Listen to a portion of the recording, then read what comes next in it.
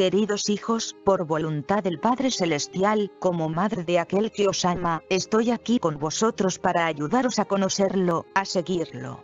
Mi hijo os ha dejado las huellas de sus pies para que os sea más fácil seguirlo. No temáis, no estéis inseguros, yo estoy con vosotros. No os dejéis desanimar, porque es necesaria mucha oración y mucho sacrificio por aquellos que no oran, aquellos que no aman y no conocen a mi Hijo. Ayudadlo viendo en ellos a vuestros hermanos.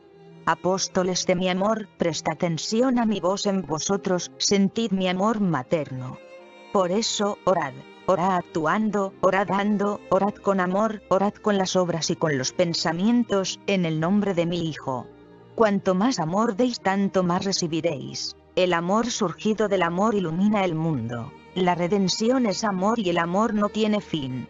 Cuando mi Hijo venga de nuevo a la tierra, buscará el amor en vuestros corazones. Hijos míos, Él ha hecho por vosotros muchas obras de amor. Yo os enseño a verlas, a comprenderlas y a darle gracias, amándolo y perdonando siempre de nuevo al prójimo.